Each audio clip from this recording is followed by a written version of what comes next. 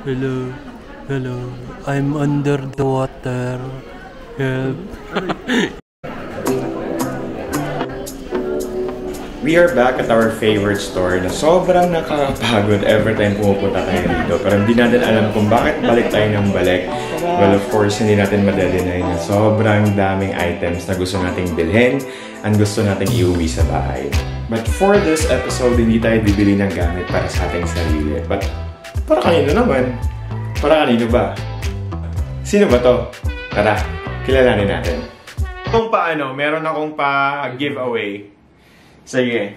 Kung pinanood mo yung buong video, ah, may isang missing item kasi, no? So, hindi niya siya mak- makakalculate. Sana yung receipt. So, na- nakalagay naman dito lahat ng ano, lahat ng prices. So, later on, or at the end of this video, If mahulaan mo yung Total price. total price, siguro the closest price na makahula, merong ano, merong IKEA item. Ano kaya yun? Ano kaya ibibigay natin?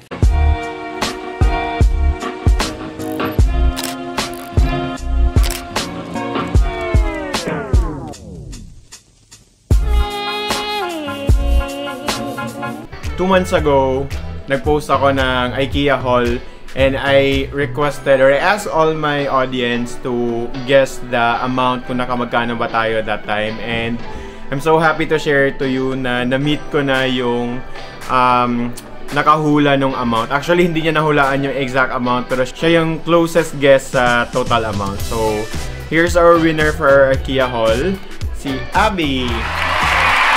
Hi Abby, how are you? Okay lang po. Kumusta naman yung IKEA experience mo? Um, nakakalibang sir, kaso yun lang, ang dami kasing tao. Kaya hindi mo yung... Oo nga, kasi pumunta kami dito. I was here last, ano, last, or two days ago. Medyo konti yung tao. Apparently, um, tumiming na, ano ngayon? Holiday, holiday dito sa Philippines. Kaya sobrang daming tao. Parang sobrang tagal namin nakapark. And, uh, syempre, ah, nagtago kami dito na area kasi ah, matagal-tagal na din siyang hindi nakalabas dahil ano dahil oh dahil nag-aalaga siya ng babies bagong mommy si si Abby. Ilang months na? Ako four months. Oh, four months na daw. So, na-enjoy niya naman yung time niya dito sa IKEA. Actually, hindi pa kami tapos. Ah, dito pa kami sa mga showroom and then after that, um, kukunin niya na yung na- nagugustuhan niyang price. Honestly, pwede naman nating ipadala yung price niya pero naisip ko lang bring her here, in IKEA para ma-experience na din kasi sa panahon ngayon, di ba, laging nasa bahay na lang. Nasa, na- kailangan lagi nasa bahay kasi may baby. Ang hirap mag-travel ng may kasamang bata. Mm. So, um, nakapag-decide na kami sana na ano, papadala ko na lang sa kanya yung price niya. Tapos biglang sabi niya, Sir, pwede na akong lumabas. Pinayagan ako ng asawa ko. Kaya, ayun, i-enjoy na lang namin yung time namin habang magsha-shop dito sa IKEA. Kasi first time niya din nakalabas for the longest time. Tama ba? Ang Ilang, ilan yung last time mo na lumabas? Siguro mga December, sir, ganyan. Tapos puro sa bahay na lang. So, ayan, December pa daw yung last na labas niya. So, um, first, I am happy and excited for her as well kasi nga first time niyang nakalabas. And then, um, na ano kasi ako sa kanya, honestly, na-surprise ako na when, well, hindi ko in-expect na maghihingi ka ng marami, na malaki. Pero, na-surprise ako na konti lang yung hiningi mo. Kaya sabi ko kay Jean, ano, parang, ano naman, ang bait naman. Kasi kung sa akin nangyari yon or kay Jean nangyari yon for sure, yung, yung nagpapapremyo, marami siyang mabibili sa amin kasi marami kaming kukunin. And ang bait ni Abby na hiningi niya lang sa akin is very konti lang talaga yung hiningi niya sa akin, promise. Kaya sabi ko sa kanya, or sabi ko parang gusto ko memorable yung experience niya. So dalhin na lang natin siya sa IKEA and uh, bilhan siya natin ng um, other than dong hiningi niya, bilhan siya na natin ng gamit na magugustuhan niya. So sana magustuhan mo din yun mamaya. Okay lang. Kasi yung lang naman talaga yung gusto ko sana sa bahay para may remembrance lang. Oo, kasi sabi niya nung nanonood daw siya ng vlog ko, parang naka ano na din siya, parang nakagala na din siya sa IKEA. Pero nung kanina nang pumasok siya, first time niya pumasok, iba talaga yung experience pag andito ka na sa loob. Um, ano, parang nakakalula sir. Saka, tawag dito, ma-overwhelm ka dun sa laki ng store. Kasi, Mm. Pero ano na din, parang um, nakakatuwa na naging first time namin nagkita tapos ito yung bonding namin. Kasi doon naman kami nakakilala sa sa ano sa IKEA vlog. So enjoy lang namin and samahan nyo kami.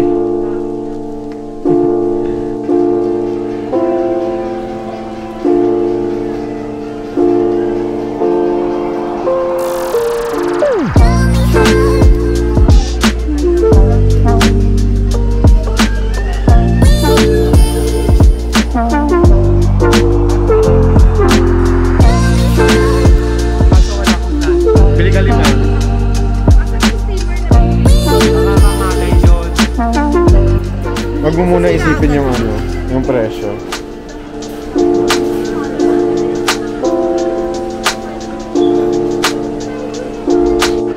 Ito maganda to na ano. Maganda na to, kunin mo na to.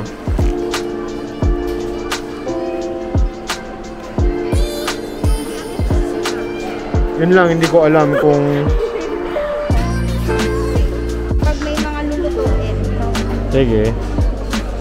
Okay ka na dyan? Sure ka? Baka may gusto ka pa ah. Na ako. Nakakatuwa. Ayaw niya talaga mamili ng madami. Kasi sabi niya, mukha namang walang pambayad doon sa Adventure Sam. Kaya konti lang yung kukunin natin. Hindi sir, napanood ko kasi mga yung vlogs. Ah, ah. ah, ah. Parang feeling ko, um, tawag dito, ipat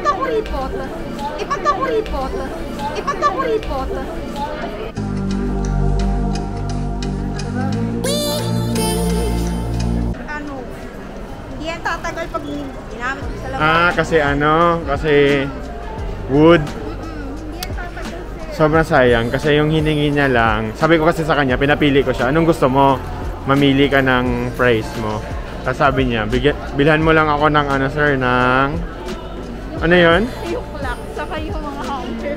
Oo, ang hiningi niya lang is clock tsaka hanger. Tapos naisip ko, parang ano, ah, dagdagan natin. And since first time niya ding pumasok, para ma-enjoy niya yung ano niya, ma-enjoy niya yung makalugi pa kasi siya sa pamasahe niya pag yung clock tsaka hanger lang yung ibigay natin. so, ayun, namili siya ng iba. Pero feeling ko nagpipigil tong ano, kumuha. Nahihiya. Okay na to, sulit na rin. Kasi, Sulit na daw. Bawi na ba? Bawi. hindi yung sa lang pa lang, sir. Gusto ko yung lamp na yun, kaso syempre 200. Gusto ko, mabili na ng bigas yun, no? Hindi kasi na, nakakatawa kasi yung mga gusto niya din ano parang ma- mahirap hanapin. Yung mga mabibilis maubos no? Karamihan sa gusto ni Abby mabibilis maubos. So buti na lang sa lahat ng ano sa lahat ng napili niya isa lang yung wala. Yung ano yung hanger. So papadalhan na lang natin. Kasi yung hanger, nakakuha sana ako nun, kung matagalan na yun, sir. mm Nagagamit mo sa araw-araw. Kasi yung naiwan kasi na hanger, ano, um, wood na, so hindi rin niya magagamit daw kasi masisira lang sa labahan. Bakit gustong gusto mo yan? Puti. Pati? Sa simple lang daw. Puti, tapos hindi siya tumutunog. Sabi sa ano, sa home bodies. Yun, so yung clock daw yung favorite niya kasi nabudol siya sa home bodies. Sa home bodies kasi ang dami nagpo-post doon ng mga pinagbibili nila. So, matagal mo na yung gusto. matagal yan ang gusto, tapos laging sold out pa sa ano. Last time na punta namin, wala din yun dito. So, good thing na timingan natin. Nakachempo tayo na Meron merong stock. So, ayun, magbabayad na kami and then balik na lang kami mamaya. Bye! Bye-bye. Nag-enjoy ka naman. Opo. Sige. Dati kasi nag enjoy siya sa ano sa vlog. Pag nanonood siya ng vlog, ano daw, parang feeling niya nasa IKEA na din siya. Parang nagsa shopping na din siya. So, maganda na yung na-experience niya na, na siya ano. Oo. Kasi dati yung IKEA nasa ibang bansa lang. At least meron na tayo dito. Oo. Tapos nakalabas ka din, no? Ah, Yan yung nakalabas pinaka din ano. ako. Sabi ng asawa niya, sulitin mo daw.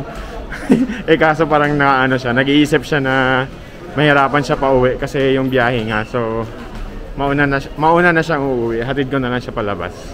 After namin magbayad. Yung dun sa dulo, pwede kang kumuha ng pang-wrap. Para dyan sa ano, sa, oo. Yun sa paglabas.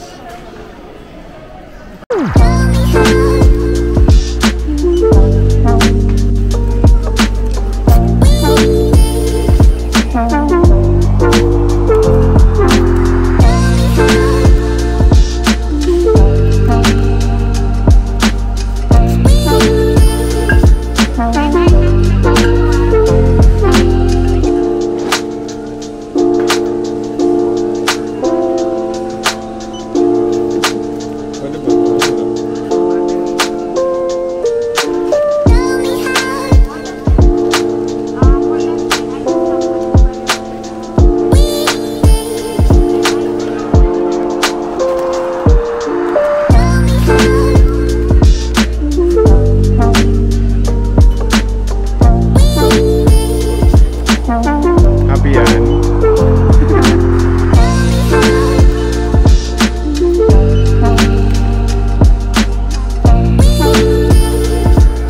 Di kasama sa lab? Yung bag? Ano? Babalutin mo doon. Sige, dito na ako kasi babalik ako sa loob. Thanks, Abby. Bye-bye. Ingat ka. Okay, sir. Thank you po. Sige. Sana nag-enjoy ka. Opo, super.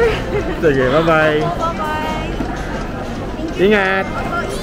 Bye-bye.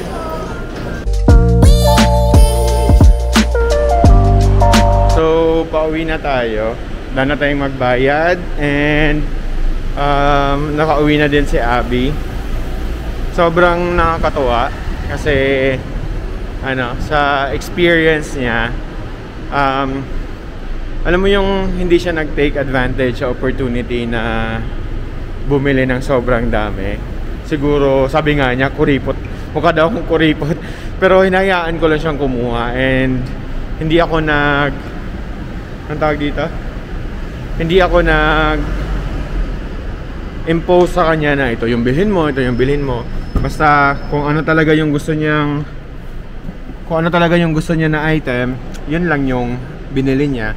And uh, may mga times na may gusto siya pero sabi ko sige kunin mo na yan. Tapos chinecheck niya yung presyo, ayaw niya kasi mahal daw, nahihiya siya. Pero ano, um, nakakatuwa lang kasi may mga taong gano'n na hindi nag take advantage. Um, though ako naman yung nag-offer pero kinonsider niya din siguro sabi niya hindi pa to nag ano hindi pa to tawag doon? hindi pa to sumasahod sa YouTube so pag tayo siguro manghingi ng madami sabi niya pero hindi ko siya sinabihan na ito lang yung budget mo honestly yung hiningi niya lang nung sabi ko ano ba yung gusto mo is hanger and clock the clock is 120 the hanger is 90 pesos so kung gusto ko talaga sana makatipid, pwede ko naman siyang ipadala sa kanya agad yung gusto niya. Pero, um, syempre, sabi ko dun sa vlog ko, gusto ko it's something special. Um, gusto ko ma-experience niya din na and maalala niya na memorable yung um, yung time nung binili niya yung mga items na yon. So, um, she enjoyed the experience. Sana marami pa tayong magawang ganito kasi nakakatawa naman talaga. And um, Ayun, drive muna ako kasi pabalik na ako and I have work later. So, trabaho muna tayo ulit, edit, and then click like, comment, and subscribe na din kayo. Alright? Bye!